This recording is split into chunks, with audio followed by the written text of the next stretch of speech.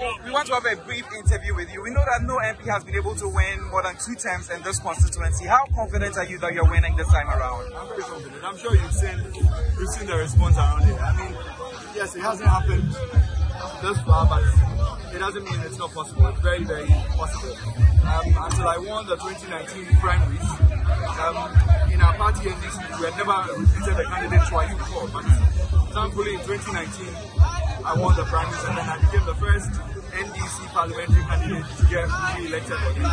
This year, I'm very confident one more time that I'm talking to the delegates. They've told me that Ramadan, we need to break that one term thing. So I'm sure by the close of the day, with the help of God, Ramadan we would be the victor so that we will go on NDC for the first time without this member of parliament go and contest the subsequent election. And I'm sure if you speak to people, everybody says that this is the head of once we cross the primaries, 2024 is a given. Latest kid on the block. Do you think she is your biggest contender?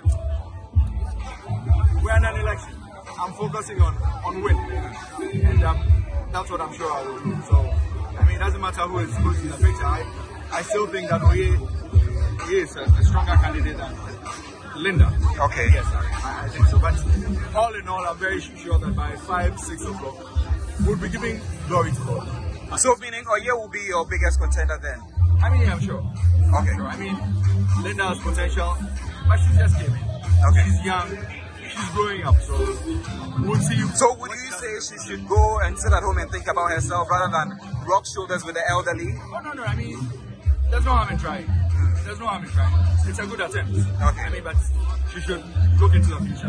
Not now. Not now. There's an issue about the fact that you've not really worked. I expect them to go out there and say Ramadan has done a lot, but let's change it.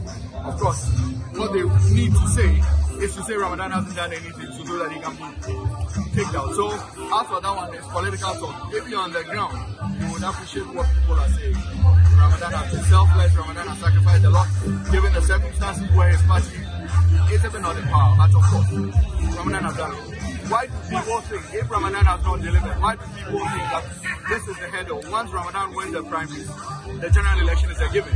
If if he hasn't performed, then the general election should rather be the problem. But everybody believes that this is the header. Once Ramadan crosses this header, he's going to deliver the address one more time. It's